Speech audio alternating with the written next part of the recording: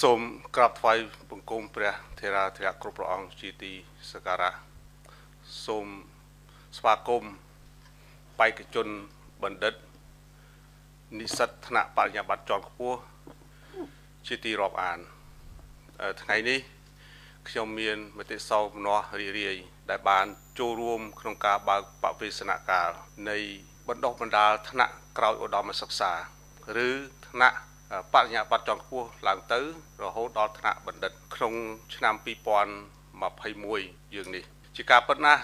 ពេលវេលាសម្រាប់ខ្ញុំហាក់ដូចជាមិនមានទេ បាទហើយខ្ញុំមកថ្ងៃនេះគឺសំណេះសំណាលសួរថាតើយើងដើរនៅលើផ្លូវហ្នឹងតើយើងឈរនៅលើគោលការណ៍អ្វីខ្លះខ្ញុំបានធ្វើដំណើរពីយប់មិញមកដល់ភ្នំពេញប្រវែងជាង500គីឡូបានមកដល់ទីក្រុងភ្នំពេញហើយក៏បានព្រលឹមឡើង ទើបទៅបានទទួលឯកសារមិញហ្នឹងនៅលើតុអញ្ចឹងទេខ្ញុំនឹងមិនអានសន្ទរកថាឬក៏នេះទេខ្ញុំនឹងនិយាយអ្វីទៅយើងរៀនថ្នាក់ក្រោយឧត្តមសិក្សានៅក្រោយឧត្តមសិក្សាយើងឈរនៅលើគោលការណ៍5ដើម្បីឈានទៅដល់នេះខ្ញុំសូមជម្រាបបន្តិចថាហេតុអីបានជាយើងជ្រើសរើសយករាជបណ្ឌិតសភាកម្ពុជាព្រោះរាជបណ្ឌិតសភាកម្ពុជា មិនមានបេក្ខជនឬ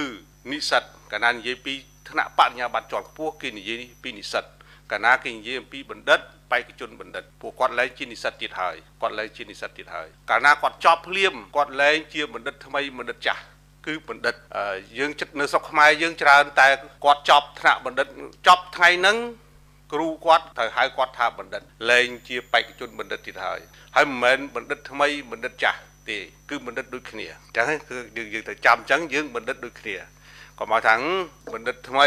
បណ្ឌិតចាស់ មិនបាច់មិនបាច់បែងចែកទេខ្ញុំធ្លាប់មានបទពិសោធន៍នៅឆ្នាំ1999ខ្ញុំបានចប់ថ្នាក់បណ្ឌិតខ្ញុំមកដល់រាជបណ្ឌិតសភាកម្ពុជារាជបណ្ឌិតសភាកម្ពុជាជាលើកដំបូងបង្កើតថ្នាក់បរិញ្ញាបត្រជាន់ខ្ពស់ដោយឯកឧត្តមបណ្ឌិតសភាចារសូនសំណាង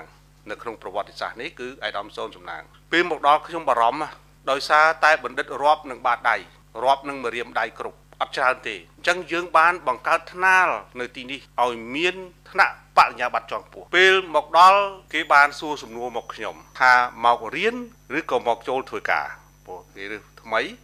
ខ្ញុំបានជម្រាបជូនថាខ្ញុំមកបង្រៀនខ្ញុំមកបង្រៀនឯកឧត្តមសូនសំណាងគាត់បានប្រាប់គាត់បានប្រាប់ទៅ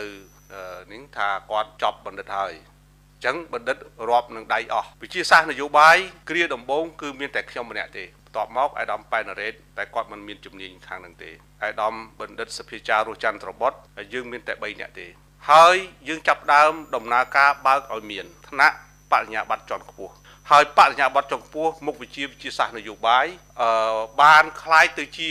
អ្នកការទូតដោយប្រចាំនៅអង្គការសហជីវជាតិហ្នឹងគឺនៅទីនេះឯងប្រធានវិជាស្ថានកិច្ចការការទូតនៅក្រសួងការបរទេសក៏ជានិស្សិតបេក្ខជន ថ្នាក់ Master បរិជាបេក្ខជនបណ្ឌិតនៅរាជរដ្ឋាភិបាលកម្ពុជាដែរខ្ញុំគ្រាន់តែរំលឹកប្រវត្តិបន្តិចដើម្បីឲ្យព្រះអង្គបេក្ខជនបណ្ឌិត និងនិស្សិតថាពេលដែលឈានជើងចូលមករាជរដ្ឋាភិបាលបានសម្រេចចិត្តហើយឬនៅក្រោយមកខ្ញុំបានចាប់ផ្ដើម បង្កើតនៅវិទ្យាស្ថានទំនាក់ទំនងអន្តរជាតិនៅឆ្នាំ2005 2005មកដល់2007យើងបានបង្កើតថ្នាក់បណ្ឌិត នៅរាជបណ្ឌិតសភា ដាក់ឈ្មោះថាបណ្ឌិតបងវិភាគទានអត់ហៅថាបងថ្លៃទេកុំឲ្យថាវាទៅបងលុយប៉ុន្តែលុយដូចគ្នាទេបងវិភាគទានគឺខ្ញុំអ្នកសរសេរអញ្ចឹងនៅក្នុងព្រះរាជាណាចក្រកម្ពុជា អ្នកបង្កើតថ្នាក់បណ្ឌិតមុនដំបូងគេបំផុតគឺខ្ញុំខ្ញុំបានជំនួបជាមួយ ឯកឧត្តមឧបនាយករដ្ឋមន្ត្រីសុកអានឥឡូវគាត់ឡើងសម្ដេចហើយបាទខ្ញុំកើតបានបង្កើតហើយខ្ញុំក៏បានចេញហើយចុងក្រោយមកគឺខ្ញុំបានវិលត្រឡប់មកវិញអញ្ចឹងខ្ញុំក៏បានជម្រាបជូនថាមិនមែនជារឿងមួយដែល copyright ពីណាមកទេ ហើយគុំបារម្ភរៀនបណ្ឌិតនៅរាជបណ្ឌិតសភាចង់ទៅដល់ប្រទេសណាក៏គេមានតែរបៀបហ្នឹងឲ្យតែរៀនបណ្ឌិតដូចគ្នាដូចគ្នាដូចគ្នាអញ្ចឹងកុំកុំបារម្ភអញ្ចឹងសួរថាតើ ជួយរើសរករៀននៅរាជបណ្ឌិតសភាត្រូវចាំឲ្យស្រេចថាត្រូវតែសរសេរសារណាថ្នាក់បរិញ្ញាបត្រជាន់ខ្ពស់ហើយថ្នាក់បណ្ឌិតត្រូវសរសេរនិក្ខេបបទគ្មានបេក្ខជនណាមួយគ្មាននិស្សិតណាមួយដែលចប់ដោយប្រឡងចេញទេហេតុអីបានយើងសរសេរសារណាហេតុអីបានយើងសរសេរនិក្ខេបបទពីព្រោះមានលក្ខណៈ3សំខាន់លក្ខណៈ3សំខាន់ទី1សរសេរសារណានិងនិក្ខេបបទវាទុកតម្កល់នៅក្នុងបណ្ណាល័យយើងលែងសិក្សាស្រាវជ្រាវ ភាសាបរទេសអញ្ចឹងបរិញ្ញាបត្រគាត់អាចសិក្សាមកក្នុងបណ្ណាល័យទៅហើយគាត់អាចអានជាភាសាខ្មែរអាចឃើញបាននៅខ្ញុំទៅរៀននៅប្រទេសរុស្ស៊ីជាតិសាសនាក៏ដោយត្រូវតែសរសេរភាសារុស្ស៊ីហើយភាសាបណ្ឌិតនិងភាសា master កុំលេងភាសា ខ្មែរយើងច្រើនលេងភាសាដោយឱកាសកលានុវត្តភាពអីចឹងអាហ្នឹងទុកសរសេរពេលខ្លួនឯងធ្វើធំទៅបើមកសេសារណាសរសេរពាក្យណាដែលសាមញ្ញគេស្ដាប់បានគេងាយយល់ ព្រោះគ្រូសាស្ត្រាចារ្យណែនាំមិនមែនគ្រូដឹកនាំទេណាព្រោះយើងមិនមែនគូទេហើយក៏យើងមិនមែនសេះដែរយើងជាមនុស្សដែលមានសត្វដែរតែសត្វមានបញ្ញាអញ្ចឹងត្រឹមតែសាស្ត្រាចារ្យណែនាំសាស្ត្រាចារ្យណែនាំត្រូវ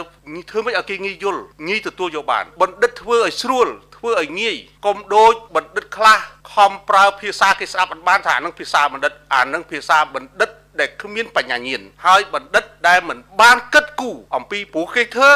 មុនដំបូង iPhone មកទៅ iPhone 1 2 3 4រហូតដល់ iPhone 11មិនបានគេធ្វើអញ្ចឹងចម្លើយគឺគេសម្រួលមនុស្សបើធ្វើកាន់តែលំបាកទៅគេបាច់ធ្វើវិទ្យាសាស្ត្រអីវិទ្យាសាស្ត្រធ្វើឲ្យងាយស្រួលធ្វើឲ្យងាយស្រួលតែបើភាសាណាមួយគេក្តោបបានក៏ត្រូវប្រើភាសាសម្រាយដែរដើម្បីងាយស្រួលសម្រាប់សាស្ត្រាចារ្យកុំដាក់ទៅសាស្ត្រាចារ្យទៅបើកវចនានុក្រមទៀតអានឹងគាត់នឹងគូសចោលហើយយើងជោគជ័យមិនជោគជ័យផ្នែកថ្នាក់បណ្ឌិតត្រូវការសាស្ត្រាចារ្យណែនាំឬគ្រូគ្រូណែនាំ ហេតុអីបានយើងអត់ប្រើសាស្ត្រាចារ្យពីព្រោះមិនទាន់បានកែរៀបចំពរិជ្ជក្រិតដើម្បីបង្កើតទៅជាសាស្ត្រាចារ្យកន្លែងហ្នឹងខ្មែរយើងច្រើនពាក្យប្រើពាក្យសាស្ត្រាចារ្យគ្រូគ្រូបឋមគ្រូមធ្យមសិក្សាគ្រូលោកគ្រូបណ្ឌិតបើគាត់អត់តបានតែងតាំងជាសាស្ត្រាចារ្យលោកគ្រូបណ្ឌិត បើគាត់បណ្ឌិតលោកគ្រូបណ្ឌិតព្រោះពាក្យសាស្ត្រាចារ្យធំណាស់អញ្ចឹងគេឆ្ងល់រាជមនិតសភាកម្ពុជាពេលដែលទៅធ្វើសិក្ខាសាលានៅប្រទេសថៃនៅវៀតណាមគេថានៅស្រុកខ្មែរសម្បូរ professor គ្រូបឋមក៏ professor គេដាក់សំណួរយើងចឹងមកយើងអត់ដឹងឆ្លើយមិនអញ្ចឹងយើងត្រូវពួកពាក្យថាសាស្ត្រាចារ្យនេះគឺនៅស្រុកគេនៅក្នុងសកលវិទ្យាល័យមួយមួយមានច្រើនតែ10 15នាក់អីទេពីព្រោះគាត់ត្រូវការរៀបចំខ្លួនពីបណ្ឌិតបណ្ឌិតហើយពេលដែលគាត់បានបណ្ឌិតហើយបើគាត់អត់សរសេរសភៅ គាត់អត់ចេញ journal គាត់មិនអាចคล้ายទៅជាគ្រូជំនួយបានទេគាត់សរសេរសភៅហើយបាន2ឬ3ក្បាលបានគាត់คล้ายទៅជាគេមានលក្ខន្តិកៈរបស់គេបានคล้ายទៅជាសាស្ត្រាចារ្យឬ professor ដូចបណ្ឌិតសភាចារអញ្ចឹងដំណាក់កាលទី1លោកហៅបណ្ឌិតសភាចារបំរុងត្រូវការសរសេរសិភៅឲ្យបាន3ក្បាលដល់ពេលគាត់បំរុងហើយឡើងទៅបណ្ឌិតសភាចារគាត់ត្រូវការ2ក្បាលទៀតអាហ្នឹងវាដោយសារតែបរិបត្តិនេះតាមពិត10ក្បាលហ៎ត្រូវការ5ក្បាលអញ្ ចឹងប្រហែលជាព្រះអង្គឬក៏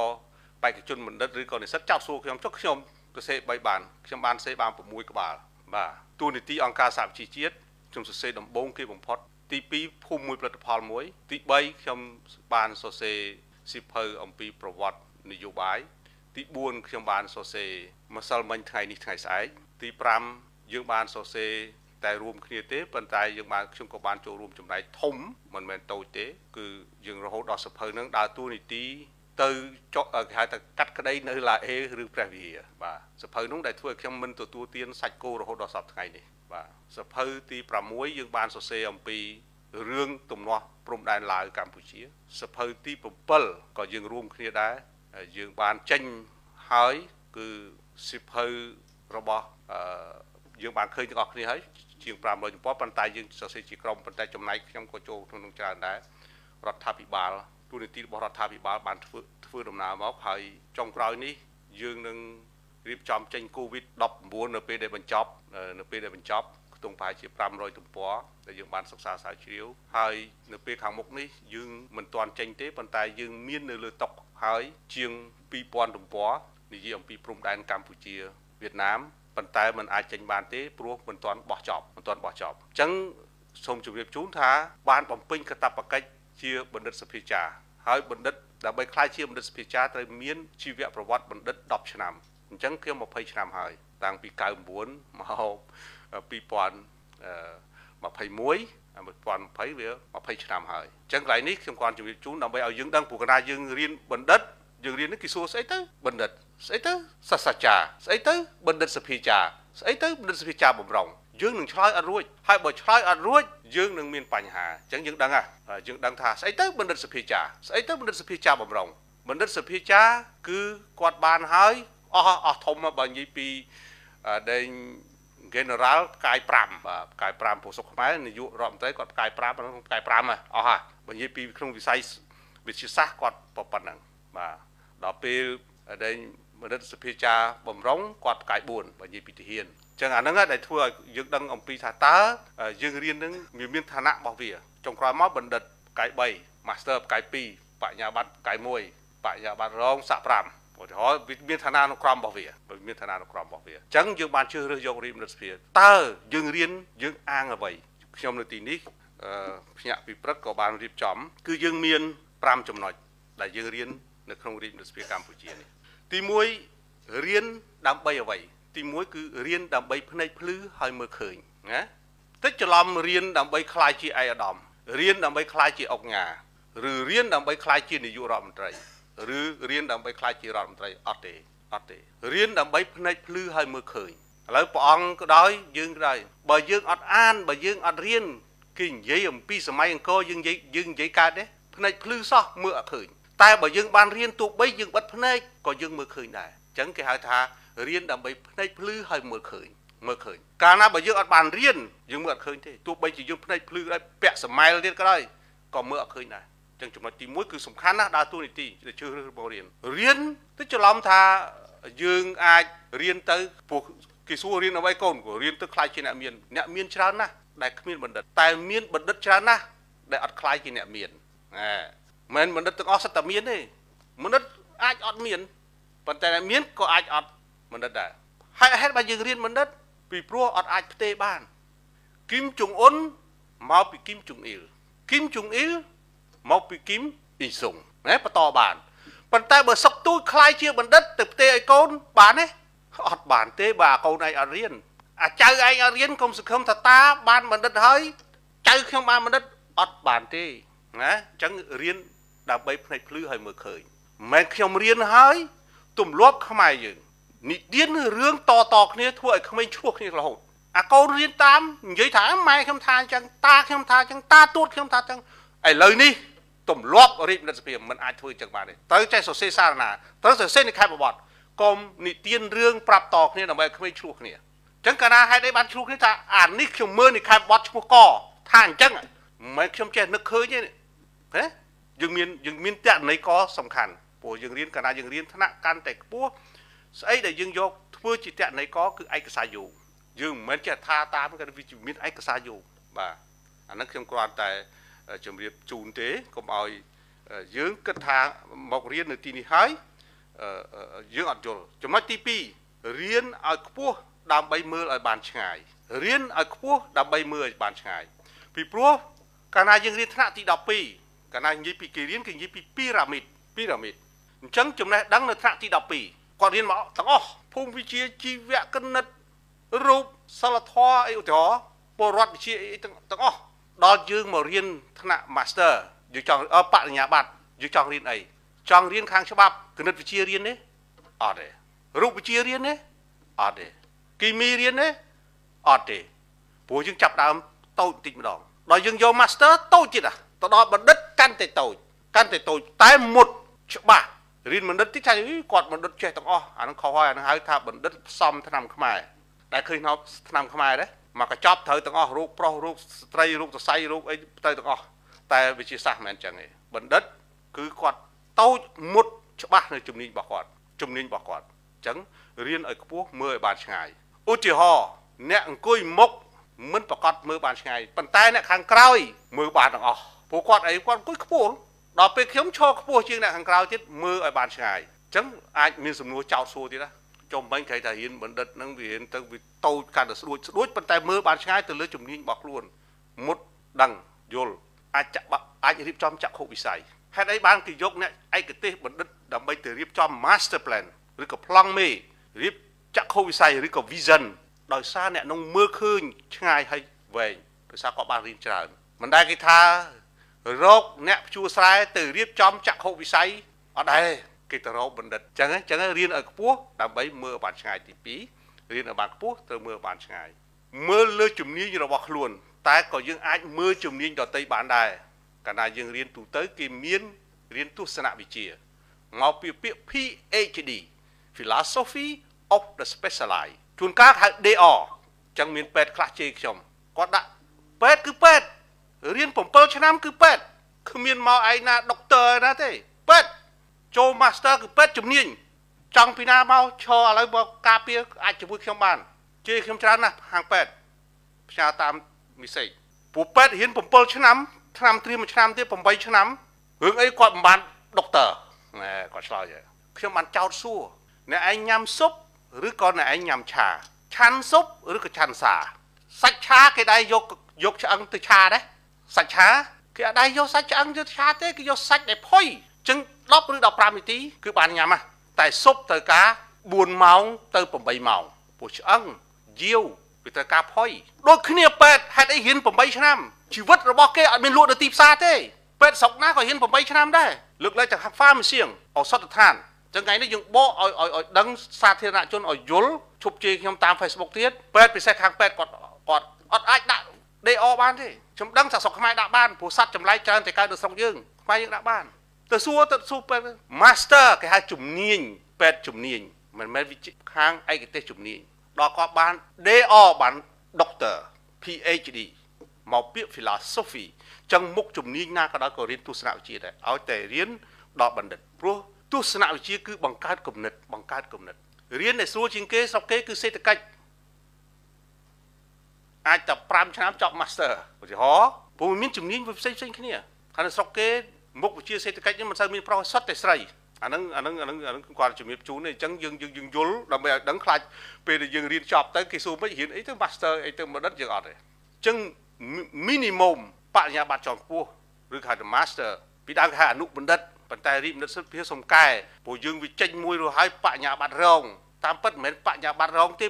មធ្យមឯកទេស វាមានតរងបញ្ញាបត្រនឹងតរងពីណាអាហ្នឹងទៅថ្ងៃមុខដូរទៀតគេថាមធ្យមឯកទេសកម្មករជំនាញគេហៅថាបឋមឯកទេសនៅក្នុងបែបវិទ្យាសាស្ត្រឯងណាបញ្ញាបត្ររងតរងបញ្ញាបត្រពីណាខ្ញុំដឹងអ្នកចេញហ្នឹងបើខ្ញុំមកតន់ខ្ញុំពេលនោះខ្ញុំមកមិនតន់ខ្ញុំមកតន់ត្រឹម master អញ្ចឹងក៏និយាយលេងពិភាក្សាជាមួយអាដាម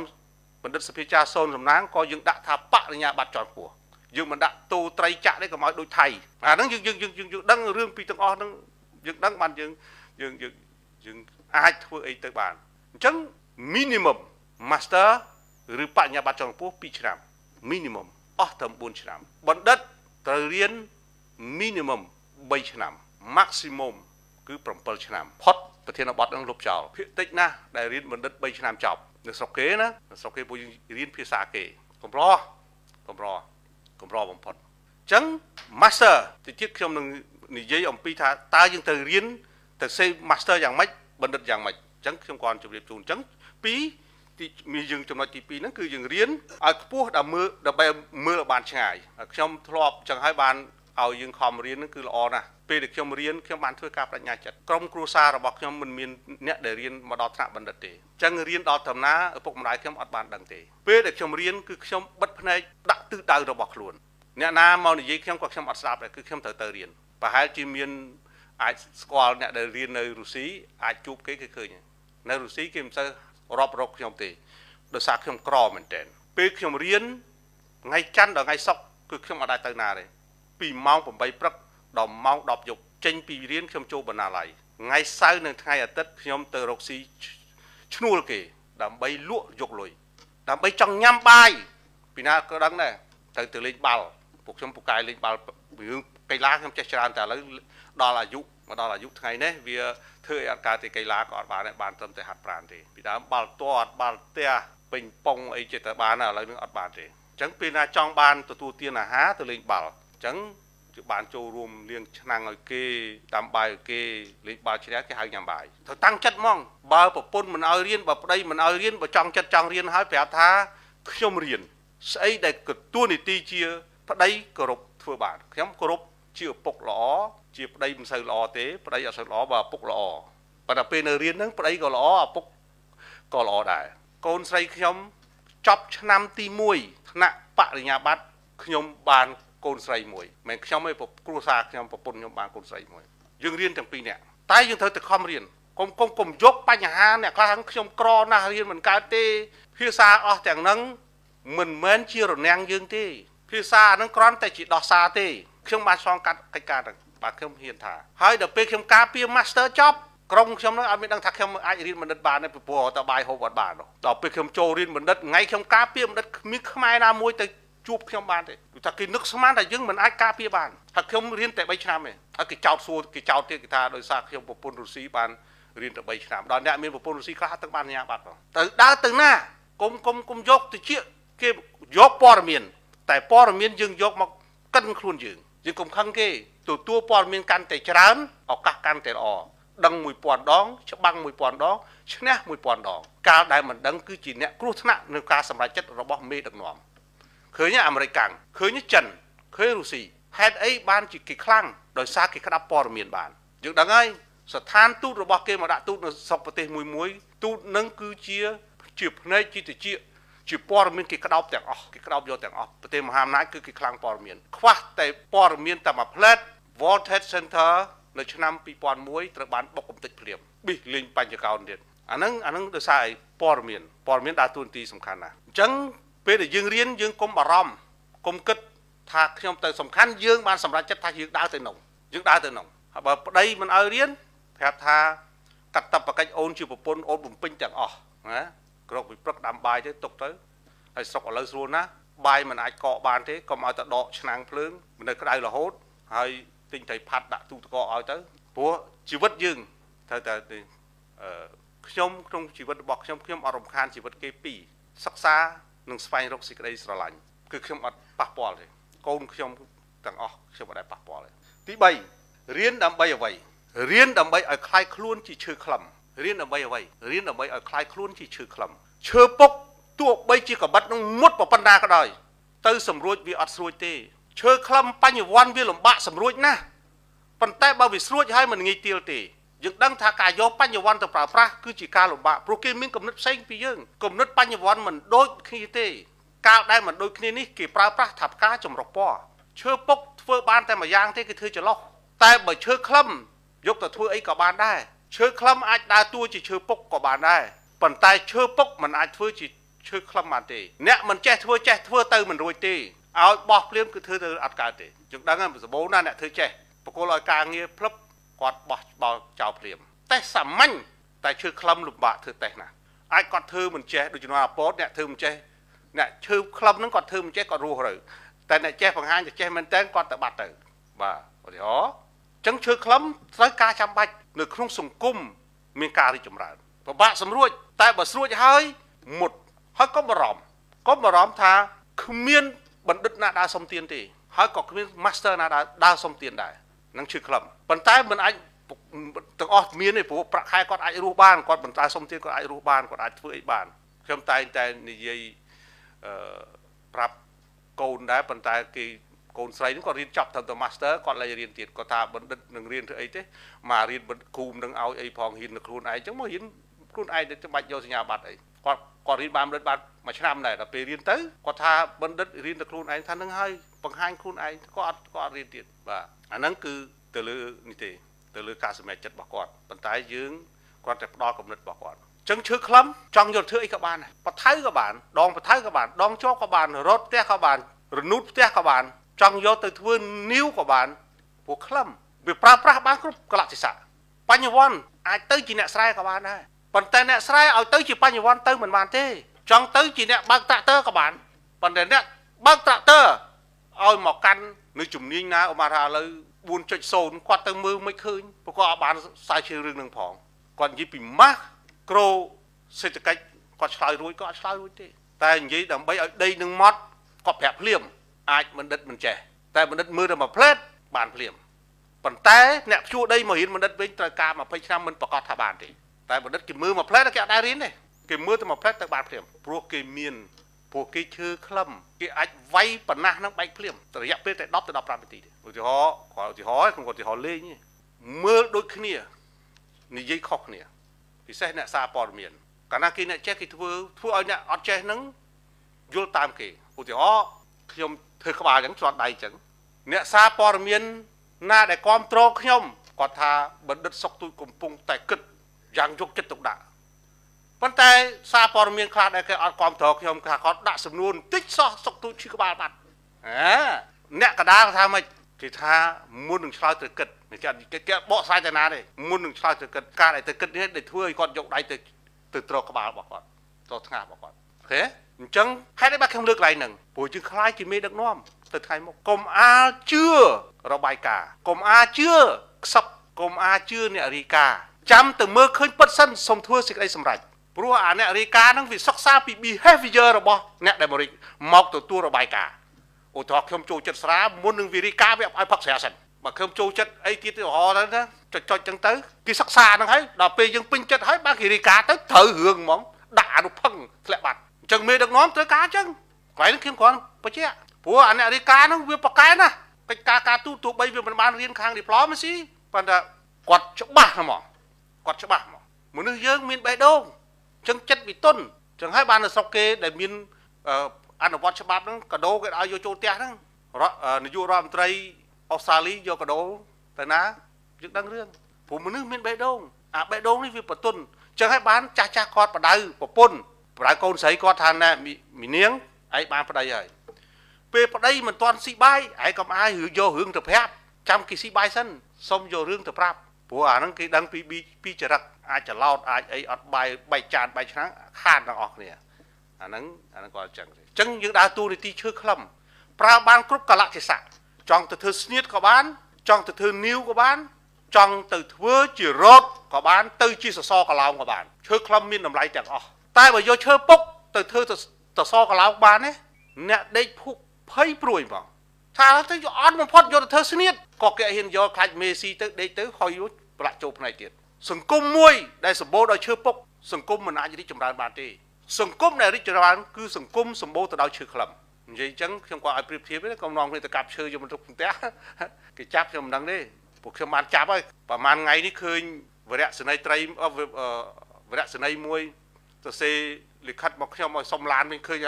ឃើញទាហានមួយចងកដោយសារកយចាប់អានឹងរឿងកយរឿងខ្ញុំខ្ញុំចាប់ខ្ញុំទុកបើអ្នកឯងសញ្ញេឈប់ឲ្យកាប់ឈើបានខ្ញុំលែងឡាននឹងភ្លាមខ្ញុំលែងគោយន្តនឹងភ្លាមតែបើលែងទៅអ្នកឯងនៅបន្តកាប់ទៀតខ្ញុំអត់លែងព្រោះតំបន់អភិរក្សខ្ញុំផ្ញើសារថ្ងៃហ្នឹង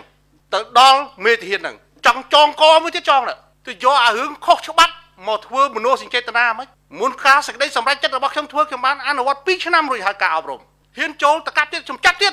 ផ្កាយប្រហែលខ្ញុំចាប់ដែរពួកខ្ញុំមិនធ្វើសម្រាប់ខ្ញុំខ្ញុំធ្វើសម្រាប់ឲ្យកូនខ្មែរអាចអោបឈើ3អោប4អោបបានបើខ្ញុំធ្វើសម្រាប់ខ្ញុំបាននេះកុំយកមនោសញ្ចេតនាពាក្យខុសច្បាប់គឺខុសច្បាប់ទៅសេពីយប់មិញផ្សាយមកខ្ញុំខ្ញុំអត់ឲ្យប្រាប់ទៅខាងអត់ឲ្យយកចេញចងកមួយទៀតចងទៅចងកមួយទៀតចងទៅព្រោះអ្នកងាប់ខុសច្បាប់ស្រុកខ្មែរមានទោសប្រហារជីវិតណានឹងគាត់ដឹងខ្លួនគាត់គាត់ប្រហារខ្លួនឯងទៅខ្ញុំនិយាយចឹងខ្ញុំដឹងថាខ្ញុំគ្រោះថ្នាក់ដើរ ប៉ុន្តែខ្ញុំជឿមួយអំពើល្អត្រូវតែឈ្នះត្រូវតែឈ្នះព្រោះពីម្សិលមិញលោកបណ្ឌិតកិនភៀននៅហ្នឹងគាត់បានដើរហើយតំបន់នេះខ្ញុំទៅ2ដងចូលអត់បានទេពេលដែលចូលបានខ្ញុំដាច់ធေါ်អាបត្តិទាំងអស់សบายចិត្តពេកក៏ទទួលទានស្រាទៅជំរាបបកគោល41 42 43ជាផ្លូវលំហូជីមិញខ្ញុំបានទៅដល់តែខ្ញុំខំដើរខំទៅយូរហើយមិនបានតែខ្ញុំបានដើរទៅដល់ហើយបាទបាត់ខ្ញុំប្រហែលថ្ងៃមិនឃើញក្នុង Facebook ហ្នឹងគឺ ក្នុងវាអត់ប្រព័ន្ធតែប៉ុណ្្នឹងទេតែខ្ញុំបានដើរទៅដល់ទីនោះហើយអញ្ចឹងសូមឲ្យបេក្ខជនបណ្ឌិតនិស្សិត Master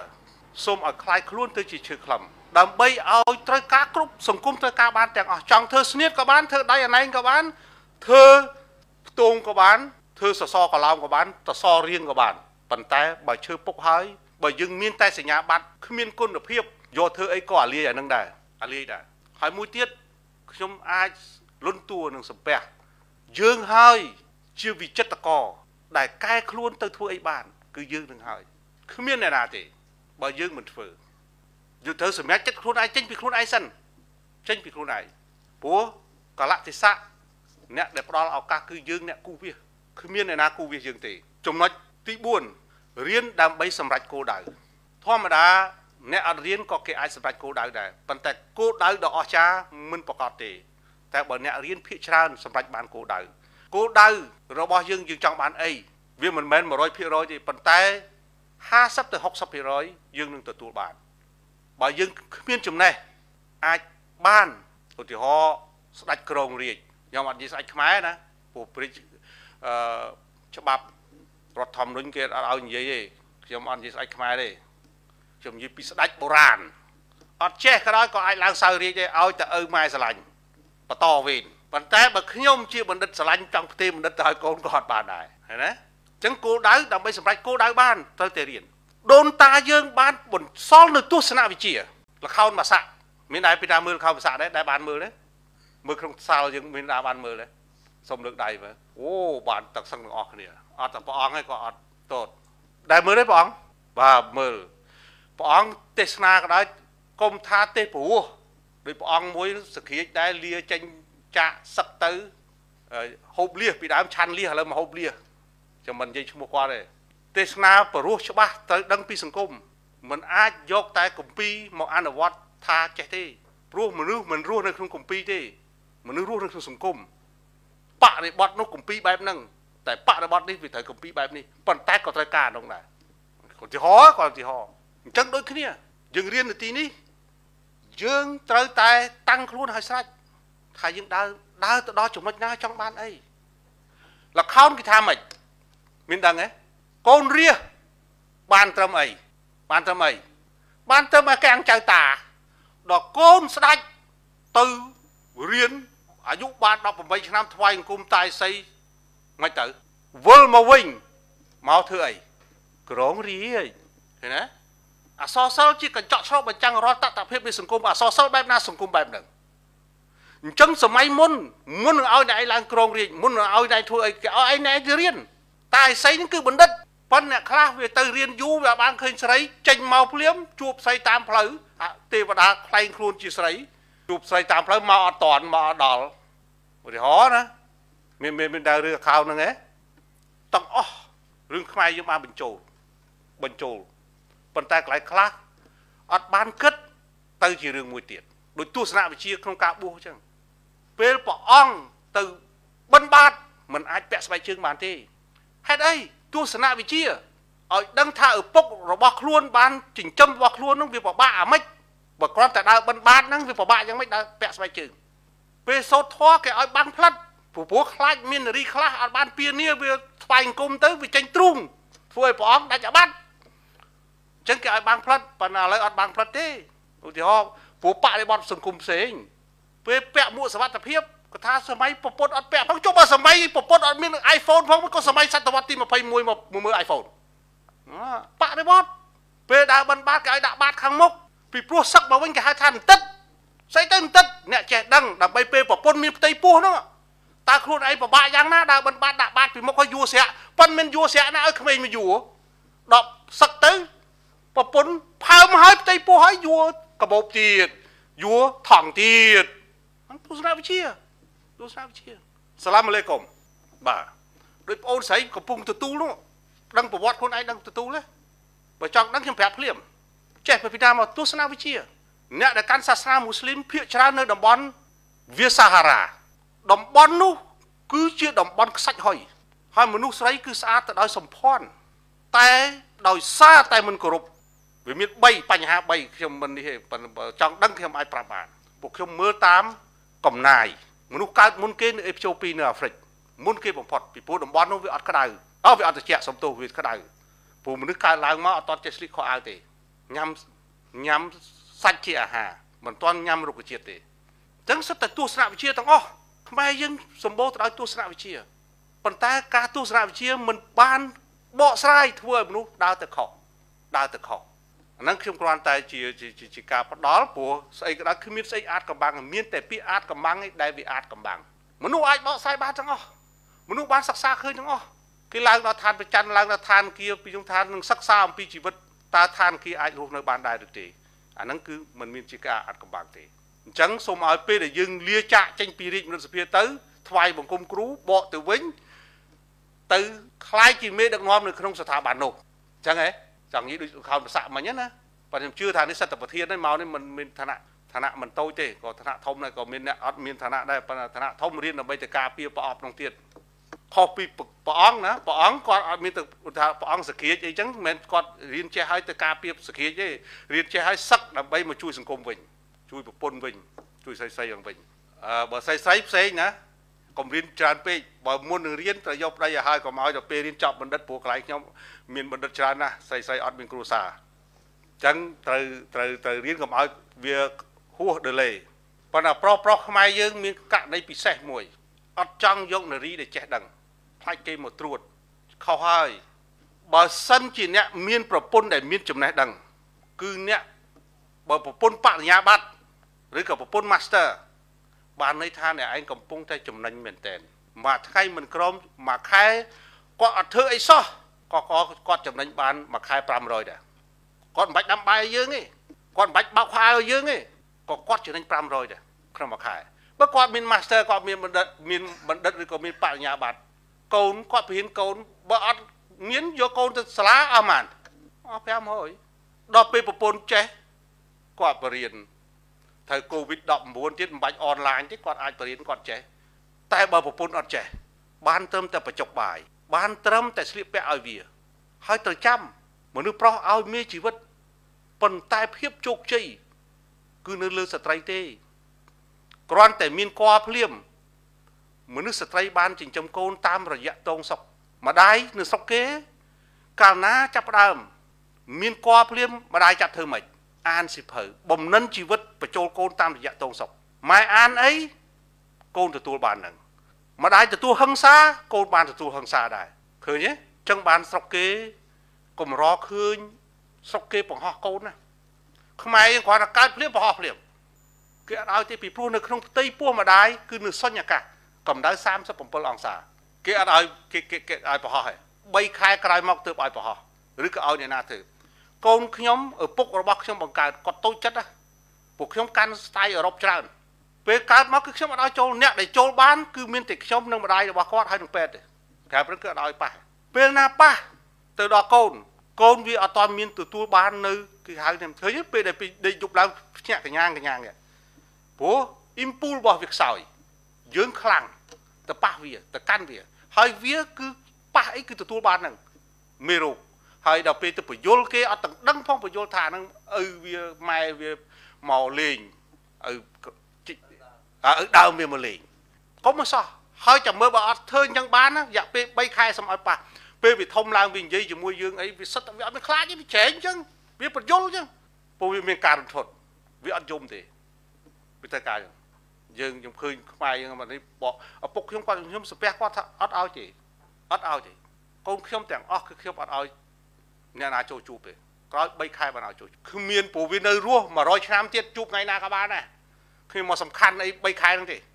អាហ្នឹងត្រូវតែមានចំណុចហ្នឹងអេឧទាហរណ៍ណាអ្នកណាឲ្យមើលទៅមិនបញ្ហាចំណុចទី4អឺខ្ញុំខ្ញុំបាននេះហើយខ្ញុំបានចូលចំណុចទី5មិនអញ្ចឹងណាបាទទី5រៀនដើម្បីបន្សល់ស្នាដៃជូនសង្គមនិងនៅលើផែនដីនេះចាំគ្មានអ្នករៀនណាមួយដែលចេះធំធាត់ទៅ មិនបន្សល់ទេឧទាហរណ៍ស្មាទោសបើខ្ញុំលាចាក់លោកនេះទៅក៏ខ្ញុំបានបន្សល់រឿងកូនខ្ញុំបន្សល់ហើយមិនតិចទេ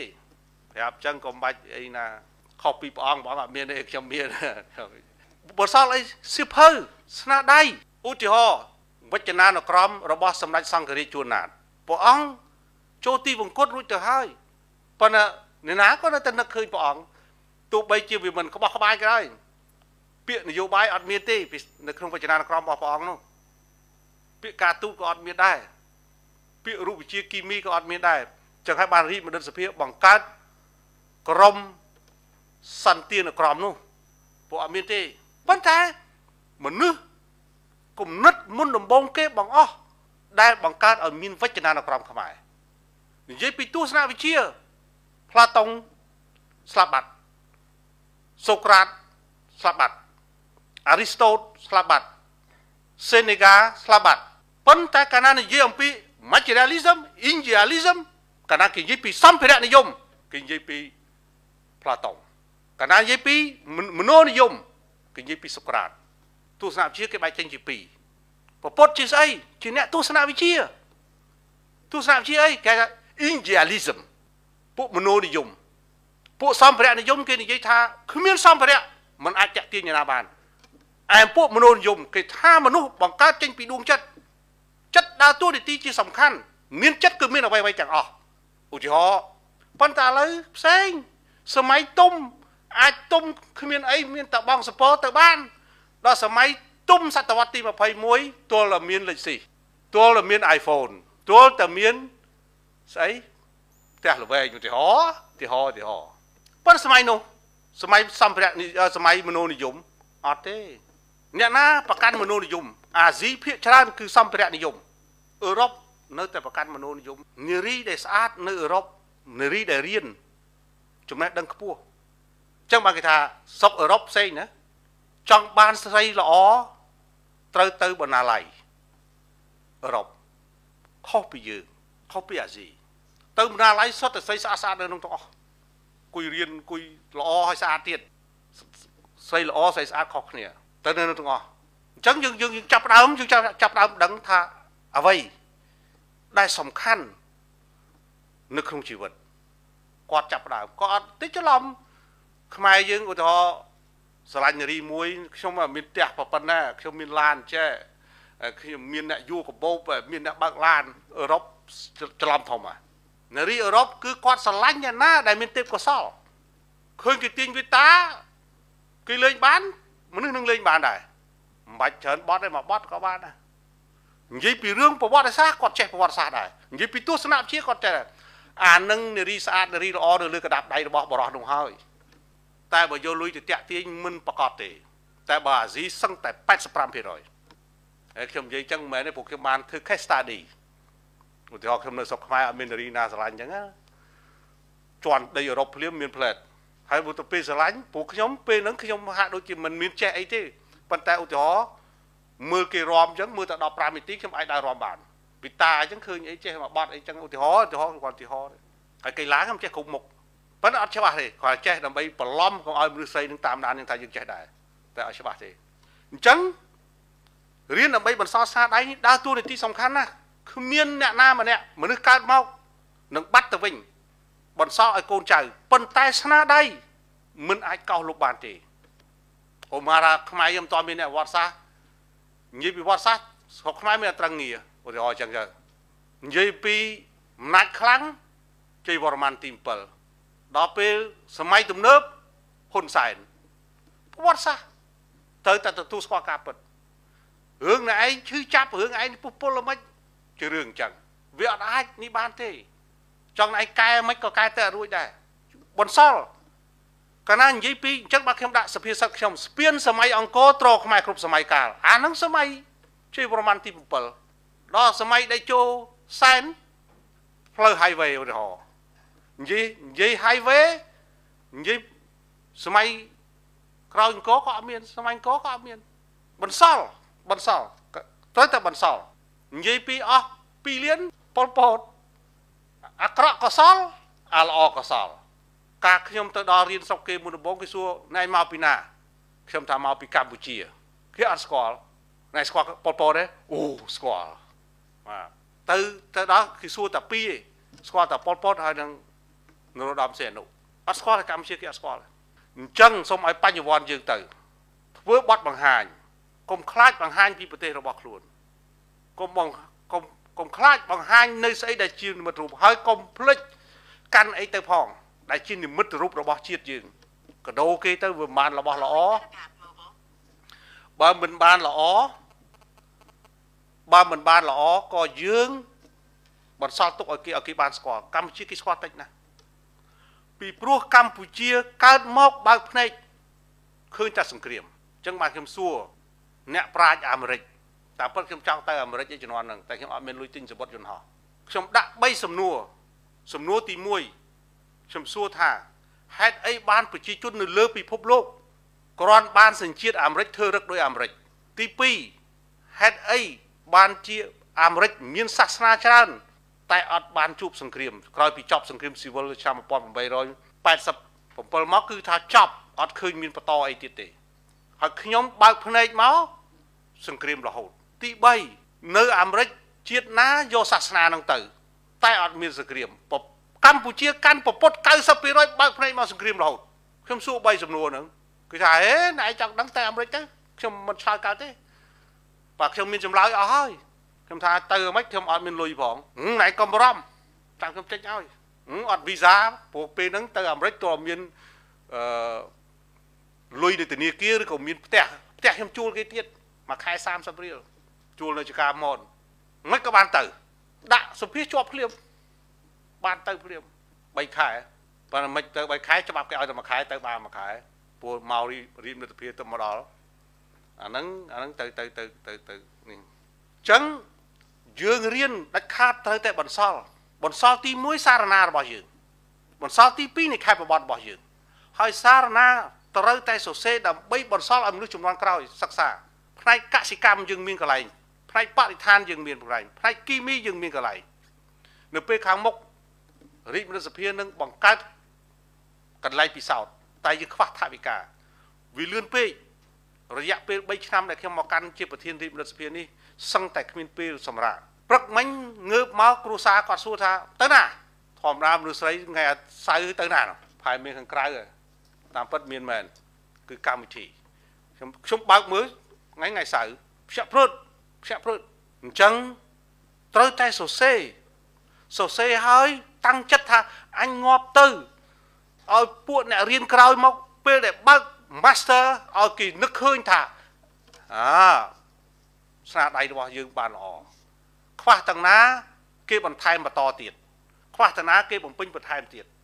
ស្រុកដែលរីកចម្រើន គឺស្រុកដែលបានបន្សល់បែបហ្នឹងពេលដែលចូលទៅបណ្ណាល័យគេមួយមួយអត់ដកខ្លួនរួចទេ បន្តទៅសេបន្តហើយរៀនអាន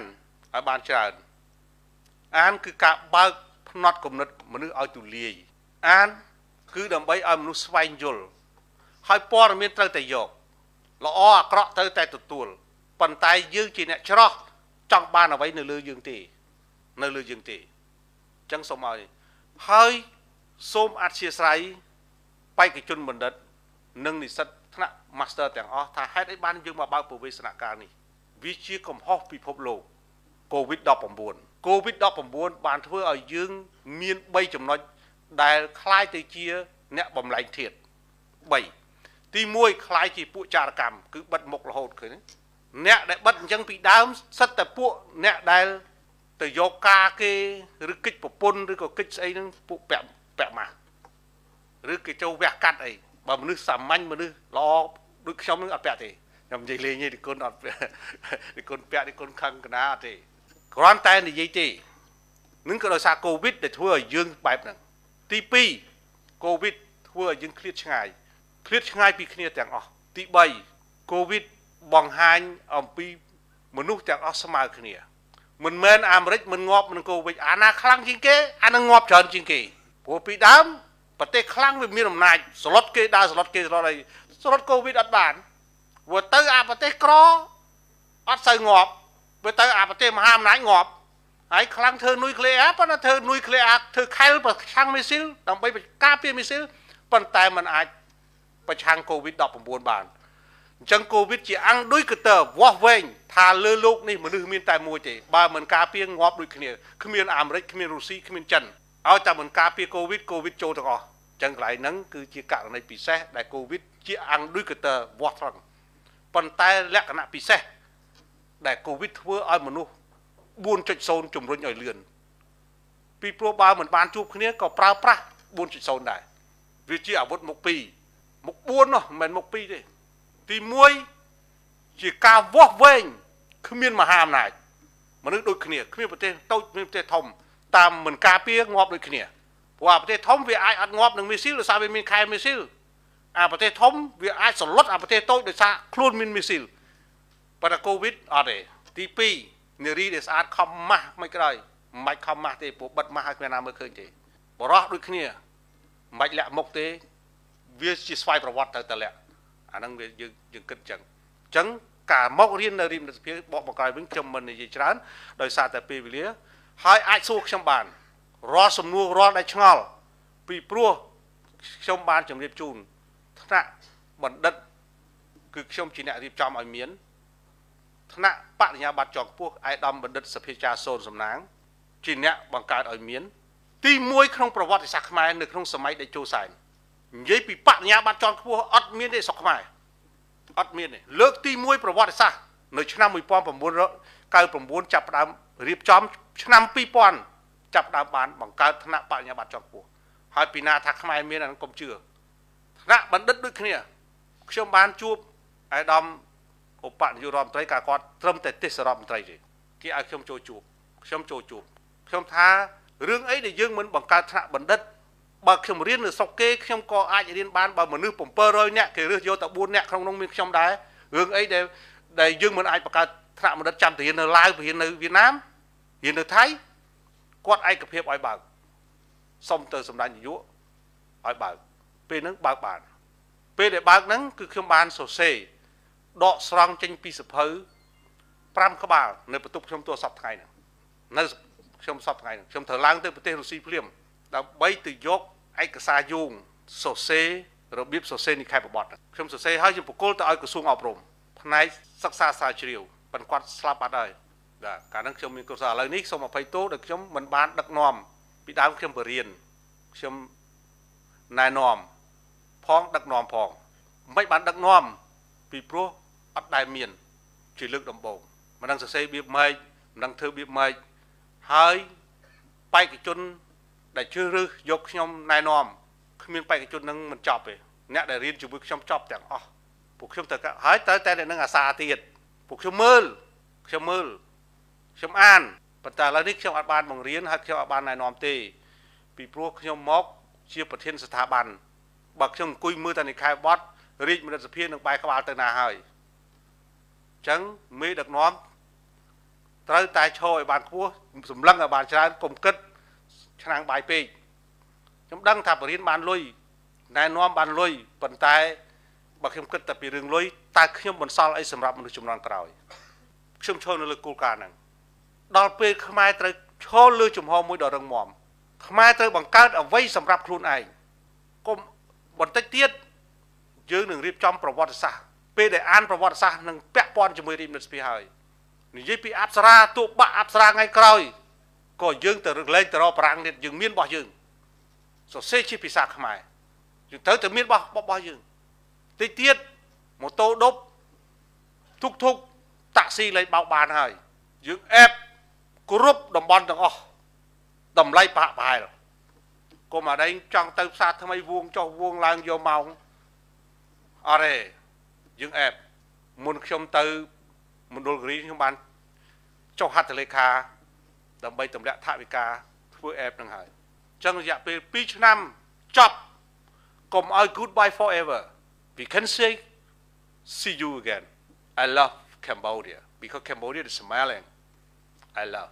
the people cambodia កុំឲ្យពេលណាក៏ដោយបោកគេភូតគេអត់បានទេហើយនឹងឈានទៅដល់ប្រាប់ទៀតថាអានឹងតម្លៃប្រមាណប្រមាណទៀតយើងនឹងធ្វើកិច្ចការហ្នឹងយើងអត់បន្ទោសពីណាទេអមរែកនេះគឺជាអមរែករាជមនិតសភាមកធ្វើបើដែរជាបន្ទោសស្ថាប័ននេះស្ថាប័នបន្ទោសរហូតយើងអត់ទេ មិញនេះគឺខុតកាលឯខ្ញុំគេបានយកសិភៅមួយស្ដីអំពីអត់ក្តាមអញ្ចឹងអ្នករៀនកសិកម្មគ្រាន់តែបណ្ឌិតផ្នែកកសិកម្មមិនខ្វះទេអត់ក្តាមបៀបមិនគោទឹកដោះបៀបមិនស្មៅគោបិចមិនចំណីគោបៀបមិនធ្វើរៀបចំអាដែងប្រកាត់សុបនិមិត្តមិនប្រកាត់ធម្មជាតិបៀបមិនអាសុទ្ធតែបណ្ឌិតដែរសរសេរទៅអត់ខ្វះទេនៅរាជមនិតសភាលើអត់ខ្វះទេបន្តិចទៀតយើងនឹងបណ្ដុះបណ្ដាលទៀត នៅស្រុកគេគ្រាន់តែមតីក៏បណ្ឌិតដែរក៏មានបណ្ឌិតដែរតើក្មេងវាចូលចិត្តអាម៉េចគេសិក្សាពី behavior របស់វាស្រុកគេឃើញទេអត់បានបណ្ឌិតធ្វើសភៅទៅក្មេងហែកចោលអស់ដល់គេមានបណ្ឌិតខាងមតីហ្នឹងក្មេងហែកអត់កើតពួកគេធ្វើសភៅមួយក្បាលតែ5សន្លឹកមួយសន្លឹកក៏មានកម្រាស់នេះហែកកើតដែរតែឃើញពីណាមានកូនតូចមានដែរមានដែរទិញហ៎សភៅហ្នឹងបាទអត់ហែកបានទេព្រោះគេសិក្សាឲ្យស្រេចហើយពណ៌ណាដែលក្មេង វាឃើញទៅវា attract វាចាប់គេសិក្សាទៀតហើយពួកហ្នឹងសិស្សបណ្ឌិតមិនបណ្ឌិតមកបរិញ្ញាបត្រគេសិក្សាអំពីរៀបចំផលិតផលឲ្យក្មេងនឹងរៀនហើយបើពីតូចវាអានវារៀនធំឡើងបើវាអត់សភៅកាន់តើវាព្រមអត់ឥឡូវសាកមើលបើប្រហែលជាហៅបងស្រីស្រីឬប្អូនស្រីស្រីប្រហែលជាមិនជាបងខ្ញុំប្រហែលទេនៅទីនេះអាចសកគ្នាឬក៏ផាក់ផែគ្នា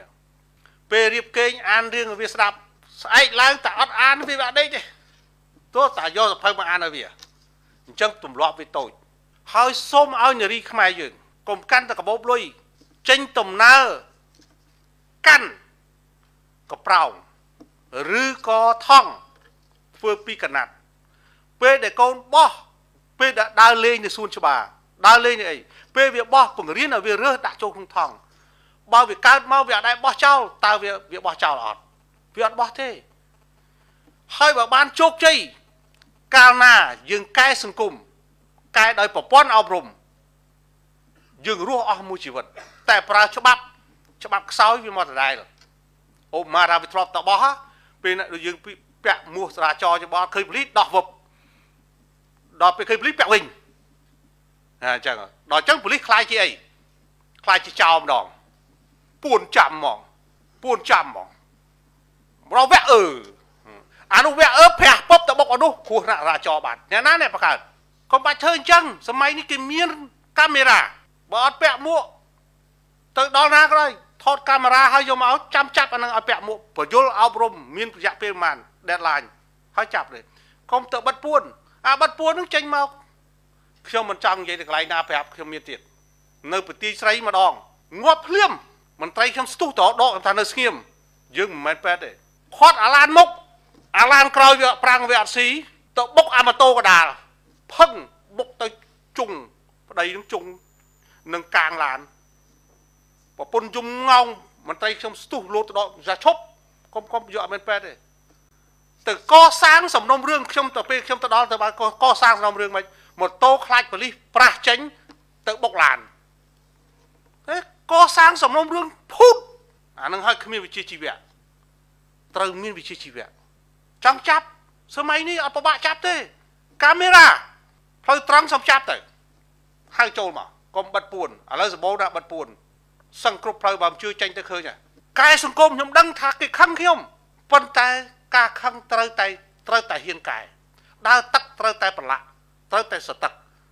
ប៉ុន្តែត្រូវតែជួយកែសង្គមដ៏តូចមួយនេះយើងល្អទាំងអស់គ្នាចឹងហើយបានរីកមនិតសភា គឺឲ្យមានបំពង់ទឹក ដើម្បីកុំឲ្យចោលសម្រាមកុំឲ្យចោលសម្រាមហើយទៀតអាញាធរនិយាយទៅផ្ញើសម្លេងទៅអាដាមខួងស្រេងផងមិនមែនមិនឲ្យគេបោះសម្រាមគ្មានធុងសម្រាមទេត្រូវមានធុងសម្រាមឲ្យគ្រប់កន្លែងប្រហែលដូចនៅចិនឬនៅប្រទេសណាក៏ដោយដូចនៅថៃក៏មិនខ្ញុំនិយាយយកអាប្រទេសស្បែកសយកមកនិយាយយកអាប្រទេសស្បែកដូចយើងកពស់ប៉ិនយើងភ្នែកដូចយើងយើងកុំទាន់ដល់ការបែកចែកសម្រាម ត្រឹមតែមានធុងសម្រាមបានហើយនៅលើផ្លូវសាធារណៈ300ម៉ែត្រត្រូវមានធុងមួយឬក៏ប្រហែល100ម៉ែត្រមានធុងមួយកាលណាយើងផាកហាមចោលសម្រាមប៉ុន្តែអត់មានធុងគាត់យកទៅចោលណាគាត់យកទៅចោលណាយើងត្រូវតែមានធុងសម្រាមមិនទាន់ក៏បែកចែកសម្រាមទេដំណាក់កាលទី1ប្រហែលឆ្នាំត្រូវមានធុងសម្រាមប្រហែលឆ្នាំត្រូវមានការបែកចែកសម្រាមវីតាមីនដំណាក់កាលរបស់វាប៉ុន្តែស្ត្រីដើរតួនាទីសំខាន់ណាស់គ្មានកូនណាដែលមិនដើរជាមួយម្ដាយទេ កើតប្រិចមកគឺម្ដាយថ្នាក់ថ្នមអញ្ចឹងម្ដាយត្រូវតែកាន់កប្រោងបង្រៀនវារើសក្រោយពីវាលេងអស់ហើយបង្រៀនវាប្រមូលយកទុកកន្លែងវិញអញ្ចឹងធំឡើងវាអត់ដែររត់រាយទេពិសេសអ្នកដែលមានឋានៈកាន់តែធំត្រូវតែធ្វើគំរូឲ្យកាន់តែល្អចំពោះគេបើយល់ល្អពេកຕົកគំរុញគ្រាន់តែរុញຕົកពួកអឺរ៉ុបថាពួកណាមិនដឹងទេកៅអីពេលអង្គុយហើយរុញក្រោកក្រោកចិនអត់ ទៅលឺຕົកគេថារុញកៅអីគេថាខ្មែរគេថាចិនពួកគេគេលើកពួករំខានគេខាងក្រោមដូចគ្នាអញ្ចឹងយើងដូចគ្នាចេញពីយើងទាំងអស់គ្នាហើយកុំកុំកុំអារម្មណ៍ថាអញចោលសម្ញានកន្លែងនេះគ្មានណាមើលឃើញអញចោលថាបេះដូងរបស់យើងអារម្មណ៍របស់យើងត្រូវតែយកមកឡានល្អត្រូវតែមានធុងសម្រាមមួយនៅសម្រាប់ដាក់សម្រាមពេលឃើញធុងសម្រាមយើងយកអានឹងទៅចាក់មន្ត្រីខ្ញុំដូចគ្នាតែខ្ញុំជិះឡានណាមួយអត់ឃើញខ្ញុំថាដល់ល្មមហើយ កុំឲ្យមានបណ្ឌិតតែសញ្ញាបត្រឲ្យបណ្ឌិតបានច្រើនផងគ្រាន់តែធុងសម្រាមមិនដាក់នោះឡានថ្លៃរាប់ម៉ឺនធុងមួយត្រឹមតែ3 4000ទេ10000ទេទិញខ្ញុំដាក់មកចេញពីយើងចេញពីយើងចេញពីយើងអញ្ចឹងសូមឲ្យយើងរួមសម្អាតប្រទេសយើងមិននេះណាសម្អាតប្រទេសយើង ហើយមួយទៀតដែរសូមផ្ដាំនៅថ្ងៃហ្នឹងបេក្ខជនបណ្ឌិតក៏ដូចជាថ្នាក់បញ្ញាបត្រចុងខ្ពស់កុំចូលចិត្តបង្ហាញដាំឈើរួចហើយទៅដើរចាក់ទឹកអត់មានន័យទេ ដាំឈើខ្លួនឯងហើយកុំកោះឈើមកដាំទៅដាំកូនឈើទោះវាយូរបន្តិចមែនប៉ុន្តែវាជានិមិត្តរូបរបស់យើងដែលយើងបានបង្កើតវាអាឈើធំវាមានកន្លែងដុះរួចហើយតែកូនឈើដែលយើងបដោះមិនទាន់មានកន្លែងដុះទោះបីយើងមិនទាន់ឲ្យមលុប20ឆ្នាំក្រោយមកវានឹងមានមលុបហើយវានឹងផ្ដល់ថាអោអ្នកដើមឈើកុំទៅកោះឈើពីព្រៃមកកាត់ចាក់គ្នាទៅកោះយកមកហើយយកមកដាំអត់ន័យទេតែបើគេបដោះនៅកន្លែងហ្នឹងហើយកោះយកមកដាំអត់អីទេតែបើកោះ របស់ដែលដុះធម្មជាតិឲ្យយកមកដាំកុំកុំខ្ញុំបង្ហោះ Facebook ដែរប៉ុន្តែមិនសូវមើលទេបើគេជេរម៉ៃគ្នាអាចមើលកូនឈើអត់តមានកន្លែងដាំទេគេបដោះខាងរុក្ខាប្រមាញ់ខាងនឹងមេព្រៃនឹងគេបដោះទៅសុំកូនគេនឹងយកមកដាំវាតិចវាយូរបន្តិចមែនហើយវាចេញពីឆ្នាក់ដឹកនាំខ្ញុំអត់រៀនដាំថ្នាក់ដឹកនាំណាប៉ុន្តែថ្នាក់ដឹកនាំត្រូវចេញគំរូល្អកុំកោះឈើដុះហើយមានស្អីទៀតបើដាំកូនឈើល្អហ្មងបើចិនគេផ្សេង គេដាំតំបន់មួយគេដាំហ្មងគេដាំហើយគេកោះយកទៅដាំព្រោះដើម្បីងាយស្រួលដើម្បីឲ្យស្មើគ្នាយើងដាំកូនឈើតែ15ឆ្នាំទេចង់ដាំអីធ្នង់ត្បេងកញ្ញុងនាងនួនផ្ចឹកត្រាចខ្លុងចក្រមយើងអាចដាំបានសុំដាំហើយកុំទម្លាប់ឲ្យកូនចៅដាំឲ្យទៅចាក់ទឹកអត់ន័យទេដាំខ្លួនឯងទៅកោះទៅស្អីកើតមកជាមនុស្សប្រុសត្រូវដាំដើមឈើឲ្យបានមួយដើម ត្រូវផ្ដល់កំណត់ឲ្យក្មេងម្នាក់ទៅរៀបចំផ្ទះឲ្យបានមួយខ្នងស្លាប់ទៅបិទភ្នែកចិត្តហើយអាហ្នឹងឧទាហរណ៍ខ្ញុំគាត់ឧទាហរណ៍ទេគាត់ឧទាហរណ៍ទេត្រូវមានអាហ្នឹងត្រូវមានហ្នឹងអញ្ចឹងកុំកោះបើកោះថាខ្លួនឯងដាំកោះឲ្យកន្លែងគេគេបាត់ហើយហ្នឹងយកកូនគេចិញ្ចឹមខ្ញុំបានបង្កើតកូនអាហ្នឹងកូនចិញ្ចឹមមិនមែនបង្កើតកូនទេបើដាំដើមឈើគឺដាំកូនឈើបើបង្កើតកូនគឺកូនបង្កើតចេញពីផ្ទៃម្ដាយនឹងឲ្យកំណើតវាមិនមែនយកកូនគេបញ្ចឹមមកអួតប្រាប់ខ្ញុំបានបង្កើតកូនមួយមិនទៅ ត្រូវមានសិលធម៌កន្លែងហ្នឹងសូមឲ្យបណ្ឌិត master ដែលចប់ទៅត្រូវមានអាហ្នឹងចេញពីខ្លួនយើង ការអប់រំវាលំបាកប៉ុន្តែបើវាទៅឲ្យស៊ីគ្រប់ចំនួនស៊ីគ្រប់ចំនួនតែបើការអនុវត្តច្បាប់ច្បាប់គ្រាន់តែខ្សោយភ្លាមមនុស្សអាចទៅអញ្ញៃញ៉ៃតែបើការអប់រំស៊ីច្រើនចំនួនណាបើវាអត់ដែរឃើញឪវាបោះចោលសម្រាមផងអត់ឃើញម៉ែវាបោះចោលសម្រាមផងតើវាប្របោះទេកូនចៅរបស់យើងបើវាអត់ដែរឃើញ ឪពុកវាតាវាបោះផងតើចៅយើងវាហ៊ានបោះទេវាអត់ហ៊ានបោះទេបើបោះវាចង្អុលមុខភ្លាមសាក់លោកបេក្ខជនទាំងអស់សាក់ទៅសាក់អឺរ៉ុបសាក់មើលទៅសិង្ហបុរីសាក់បោះសម្រាមសាក់មើលបោះភុចភ្លាមកេះកេះឲ្យយើងរើសមកដាក់ឲ្យយើងរើសមកដាក់មិនបាច់អ្នកណាមិនបាច់ប៉ូលីសផាកទេកេះឲ្យមកដាក់បើយើងវិញផ្លូវគេដឹកដៃយើង